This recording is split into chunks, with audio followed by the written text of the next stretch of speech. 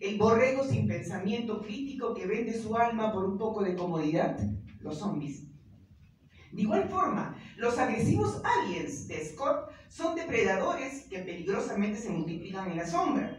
Dentro de, cada, de la cadena trófica se alimentan de humanos, los parasitan para después destruirlos, todo eso que ya conocemos. ¿Acaso no es un símil de lavado de cerebro que sufrieron muchos jóvenes peruanos con ideales en los 80?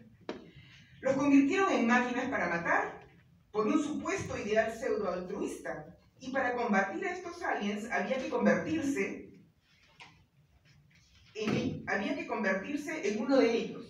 Ser también un depredador, como lo fue el ejército peruano, que también eran otros aliens, ¿no? O sea, eran aliens contra aliens, ¿no? O los aliens, ya, depredador y contra aliens, pero los dos eran monstruos. ¿Acaso Ripley en las siguientes películas de la saga no se debate en el dilema de convertirse o no en un alien? Siempre ella justamente tiene ese debate, se, debate en ese dilema, ¿no?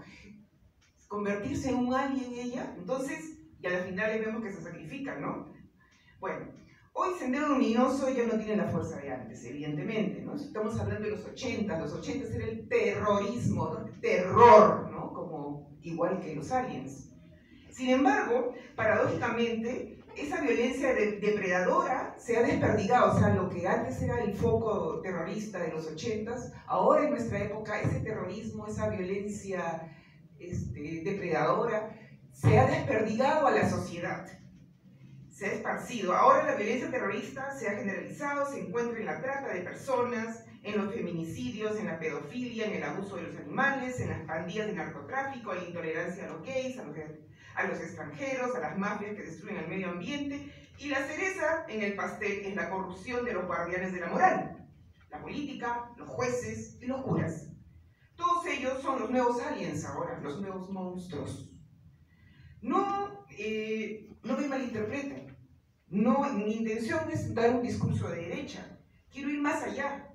Ahora existe una preocupante polarización, los buenos y los malos, el odio, ya sea de un lado o del otro, se ha convertido en lo normal. Odio a los fujimoristas, odio a los rojos. Ahora tenemos a alguien. Todos hemos tomado del veneno, todos, hemos bebido del veneno.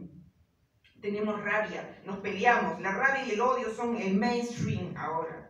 Todos podemos convertirnos en fanáticos agresivos.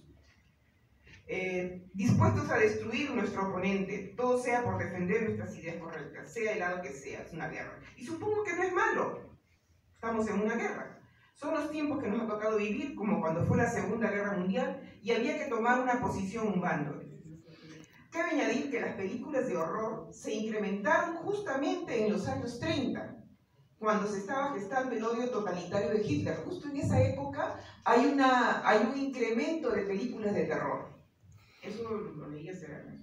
Finalmente, quería agregar algo con respecto a la astrología. Yo soy especialista en me gusta la astrología.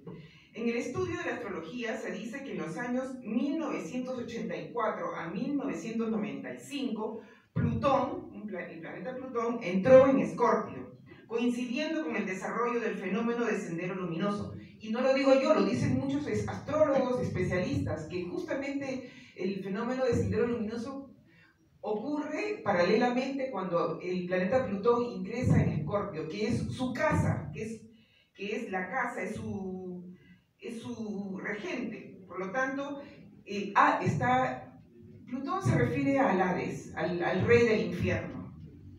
Entonces, el gobernante del infierno es regente Escorpio, Plutón entra a su casa entra al mismísimo infierno, al averno. Ahora Plutón se halla en Capricornio, que representa el mundo público de las altas esferas, los empresarios, el mundo público, político. Todo lo que toca Plutón lo destruye. Justamente, es, toda, la, imagen de, de los aliens, ¿no?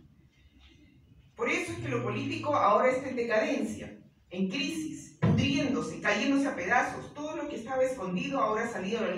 A la luz toda la cochinada, el bajo astral, estamos siendo testigos de la enfermedad en nuestra sociedad en toda su purulencia. Todos estos seres salidos de la cloaca, como alien, la cloaca galáctica también, ¿no? Son los nuevos aliens, con los que Ripley, los ciudadanos, nosotros somos Ripley, ¿no es cierto? Debemos luchar, pero hay que tener cuidado de no convertirnos en aliens también.